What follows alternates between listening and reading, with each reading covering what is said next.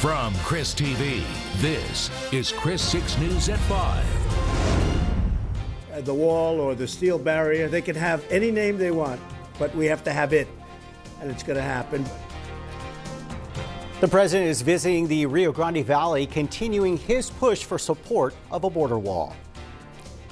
Hello, everyone, and thank you for joining us. I'm Paulo Salazar. The president touched down in McAllen just after noon today as the partial government shutdown reaches day 20. The president is hoping the trip will help increase support for his call for border wall funding. KRIS 6 News reporter Emily Hamilton is live tonight in McAllen, where she followed the president today. Paulo, there's been a consistent crowd of people here in McAllen since before uh, President Trump landed here in South Texas and throughout the afternoon, even after President Trump departed back for D.C. Uh, there's a lot of buzz and excitement around town, and many people we spoke with say whether or not they support Trump, it's not every day the president pays a special visit to their hometown. We spoke with both supporters and protesters of President Trump, both groups very vocal about their stances on security at the border.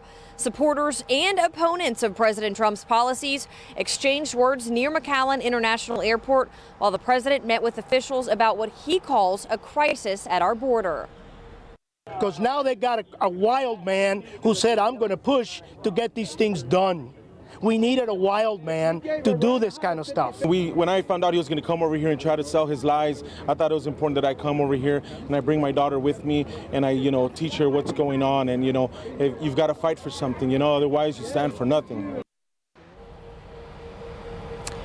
And it was a quick visit here in South Texas for President Trump. He met with several elected officials as well as federal agency, agencies here about security our southern border. And uh, President Trump did head back to D.C. just before 4 o'clock this afternoon. Paulo?